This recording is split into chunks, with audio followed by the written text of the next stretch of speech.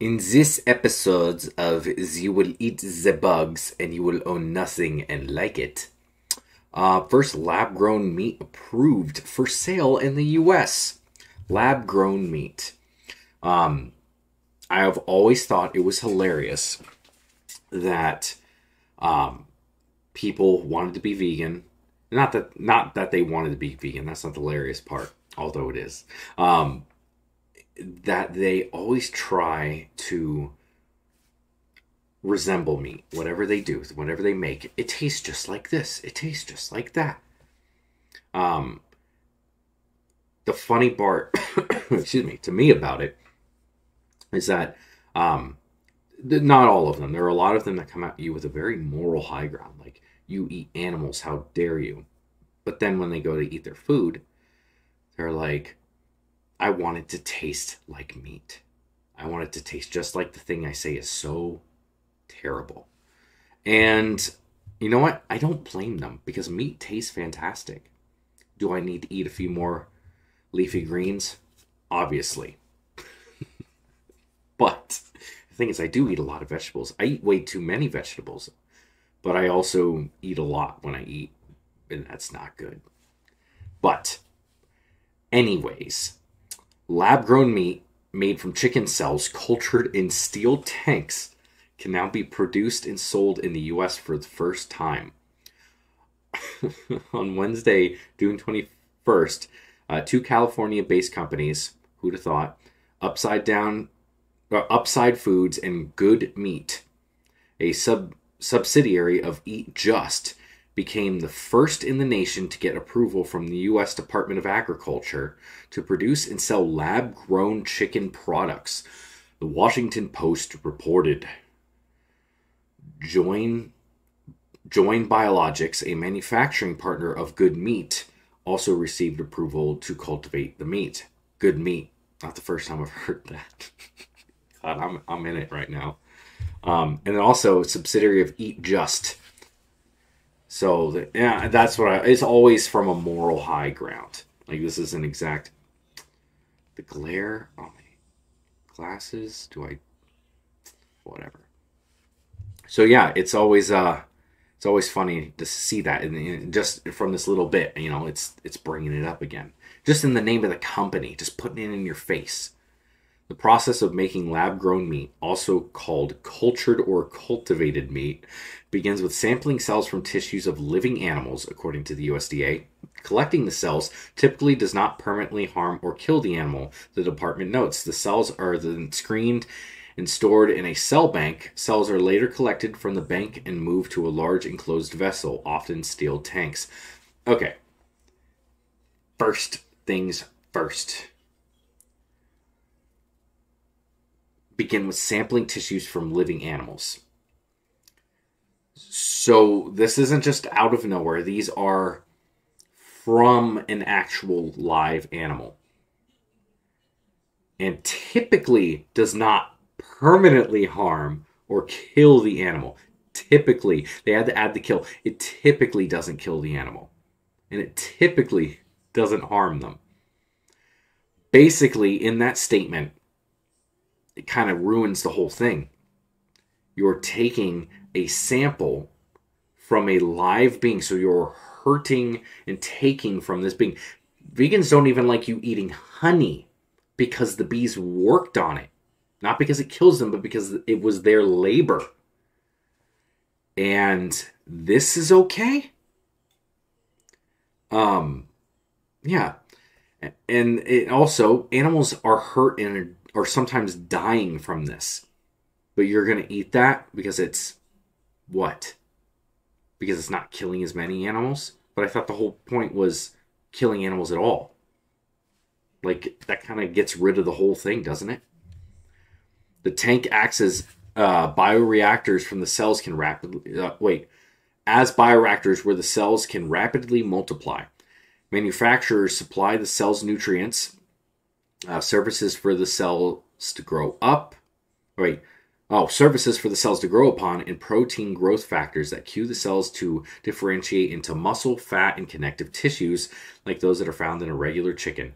The USDA statement explains Once differentiated and ready for the harvest, the cells are collected from the tank and prepared using conventional food processing and packaging methods. In 2019, the U.S. Food and Drug Administration and the USDA's Food Safety and Inspection Service established a regulatory framework to ensure that lab grown meat is safe and truthfully labeled. As part of this process, both Upside Foods and Good Meat's cultivated chicken products have been assessed and confirmed to be safe for human consumption. On Wednesday, both companies received a grant of inspection, the final USDA seal of approval needed to bring their product to market, NPR reported. For now, the lab grown chicken won't be found in any average grocery store and it will be pricey. Upside Foods is partnering with Dominique Crenn, owner of the three Michelin starred restaurant Atelier Crenn, who will serve the cultivated meat at Bar Crenn in San Francisco. Similarly, similarly, Good Meat's product will be served in a yet undisclosed restaurant of celebrity chef Jose Andrews, uh, Andres, uh, one of the company's board members, according to NPR. Following this initial rollout in fancy restaurants, Dr. Uma Valeti, Up, Upside founder and CEO, told Yahoo Finance that the company aspires to eventually beat the conventional prices of traditional raised meat and foresees the Upside products will be at parity uh, with conventional meat products within 15 years. In addition to the fact that cultivated meats are slaughter free, proponents of the products tout their potential environmental benefits compared with conventional raised meat. However, some scientists, including a team of uh, at the University of California, Davis, has pointed out that cultivated meat doesn't necessarily produce fewer carbon emissions than conventional livestock farming, in part due to the energy-intensive process currently required to make the uh, grown uh, growth medium used during production.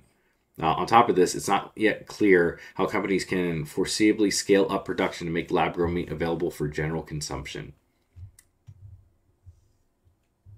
Yeah. Well, that last little part there. First off, I want to laugh a little bit here. I'm feeling good, feeling a little frisky. So, the people who are the most invested in it, literally partial owners of this company, are celebrity chefs. It's going to be too expensive to just send this out to a grocery store. So you would have to order it at their fancy restaurant. And if you want to try this good meat, you're going to have to go to this restaurant. Um, so, bringing all this together, people who are already rich and wealthy living in San Francisco who want to be the bourgeoisie, so to speak. They want to be um, the, the upper echelon of society. They a lot of them already view themselves this way. They go to these fancy restaurants where they serve you a piece of chicken this big with a little drizzling on it for $150 and call it gourmet. You know, you have to be sophisticated. In order to have this good meat, you need to be sophisticated and come to this restaurant. There's only going to be a couple restaurants in the world that have this good meat. And eventually, it'll probably I don't know. I mean, if they do scale it up, they say 15 years. I mean, it's just like anything else that's going green. I'm all for going green if it's worthwhile. You know, uh, in order to put solar uh, fields out there, like you know, they literally have to clear out acres and acres and acres to put these solar panels up because, and they also get super hot, like the reflecting light I know they're absorbing, but it's very bright and shiny out there. They put them in these giant fields and they literally heat up the area. It's like baking in an oven, and all the plants underneath them die. So, like, you do, you have just swaths of land that aren't being cultivated.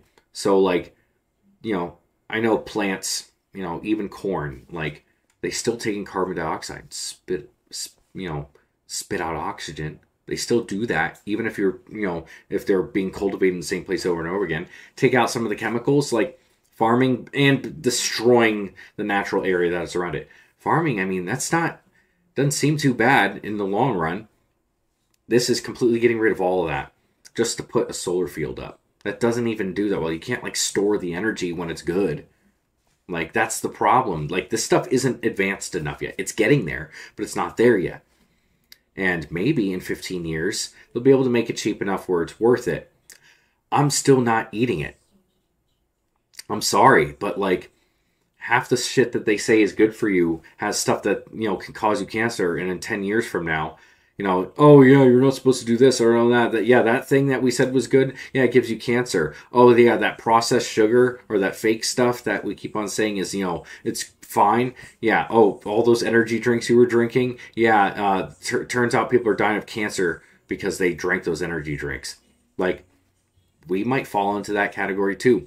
But you know, it, it, are they take are they taking like what are they called? What they were uh, people were freaking out about um the babies, the the the cells, the ones that are like in the that turn into other things, whatever those cells are called. I can't think of the name on top of my head, but like they were freaking out because you had to take them from. There was a multiple ways they were doing it, but they were taking them from fetuses that were aborted. They were taking them from like spinal taps or something like that.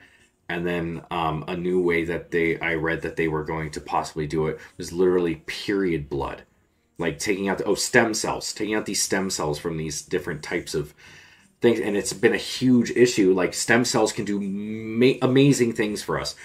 But right now the way that we have to get them is not worth it slash is unethical.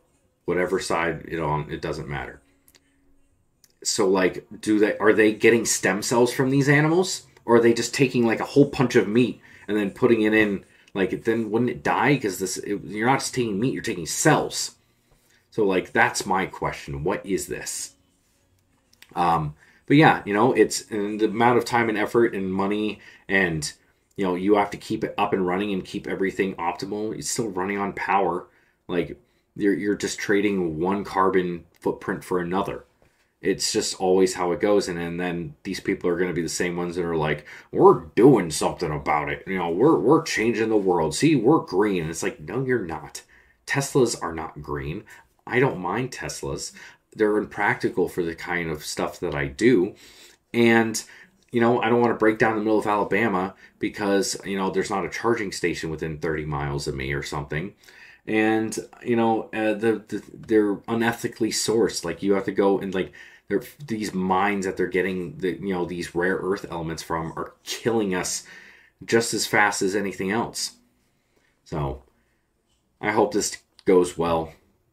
I wouldn't need it but it's a step in some direction, I guess. And it's also funny because the people who will preach at you for how good they are are the same ones that are doing way worse things than you're probably doing.